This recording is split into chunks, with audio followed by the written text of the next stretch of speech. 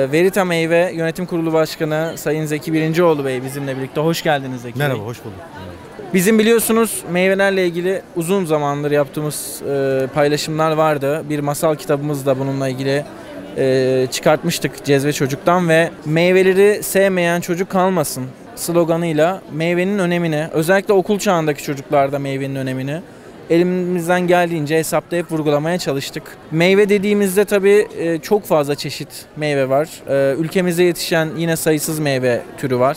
Onun dışında e, tropikal iklimlerde yetişen ve ülkemize gelen yine günlük beslenme sürecimizde tükettiğimiz meyveler var. Verita meyve bizim belki de bu noktada uyuştuğumuz en çok uyuştuğumuz firmalardan biri oldu ve meyve üretimi ve ithal meyvelerin de yine Türkiye'ye gelerek buradaki e, tüketiciyle buluşması anlamında çok önemli bir firma. Bir yorum var.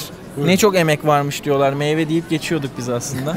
hem bunun Sağ üretici boyutunda hem sizin Bunu yaptığınız çok katma sevindim. değer boyutunda demek ki bu hissediliyor. Bunu duyduğuma çok sevindim tabii. Yani insanların bunu gerçekten çok emek var. Bunun biliniyor olması bana keyif veriyor tabii. Yani insanın e, hoşuna gidiyor. Tabii bunların üretimleri ayrı bir emek. Doğal haliyle sunulması, bunların analizlerinin yapılması, pestisitlerin analiz edilmesi, tüketiciye iyi tarım uygulaması sunulabilmesi de ayrı bir emek. E tabii burada tüketicinin de biraz emek harcayıp çocuklara bunları sevdirmesi lazım galiba değil mi? Bir o kalıyor. Çocuklara sevdirmesi lazım. Kendisi tüketirken dikkat etmesi lazım. Aldığı üründen eğer o beklediğini bulamıyor ise bir şikayette bulunması lazım diye düşünüyorum. Facebook, Twitter, YouTube gibi hesaplarımızdan bize sorabilirler. Veya iletişim adresimizden. Büyük bir keyifle cevap veririz. Buna gerçekten çok önem veriyoruz. Yani biz e, ürünle alakalı bir şikayet gelecek olsa bütün veri ailesi olarak orada gerçekten alarma geçiyoruz. O insana gidiyoruz, buluyoruz, oturuyoruz, dertleşiyoruz, derdimizi anlatıyoruz. Bütün kaygılarını gidermeye çalışıyoruz.